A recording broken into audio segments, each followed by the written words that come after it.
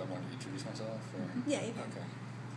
Hi, my name is uh, Matt Eskandari. I'm the director of The Gauntlet that uh, premiered at Screamfest 2013.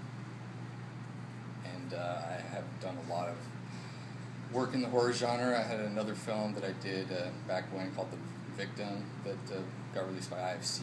And then um, my first film ever, a short film that I made while I was at film school, was called The Taking.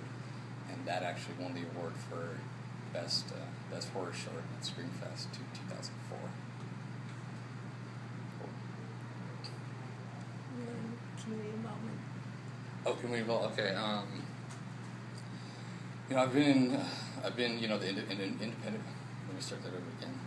I've been an independent filmmaker for quite a few years now. Just you know, networking and meeting fellow producers and directors and filmmakers in the community, and know, through Screamfest, it's been an opportunity to meet like-minded genre filmmakers, producers, and you know, build those connections that are valuable to you know us as filmmakers in the genre community and the recognition that we receive from you know even just being played at Screamfest is huge. I mean, when I tell people that my last film just played at Screamfest, it's an automatic recognition of quality product. You know, anytime I send an email to someone and say The Gauntlet just premiered at Screamfest, you know, I can tell that gives it that validation of the quality genre film. So it's just been great to you know meet everybody in the community in the horror community and talk to them and build connections future projects potential work in the future and you know just learn from each other and learn you know what other people are doing what other filmmakers are doing and how they're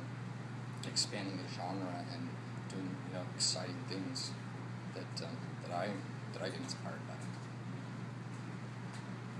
cool. Cool. that's not bad right Yeah, yeah.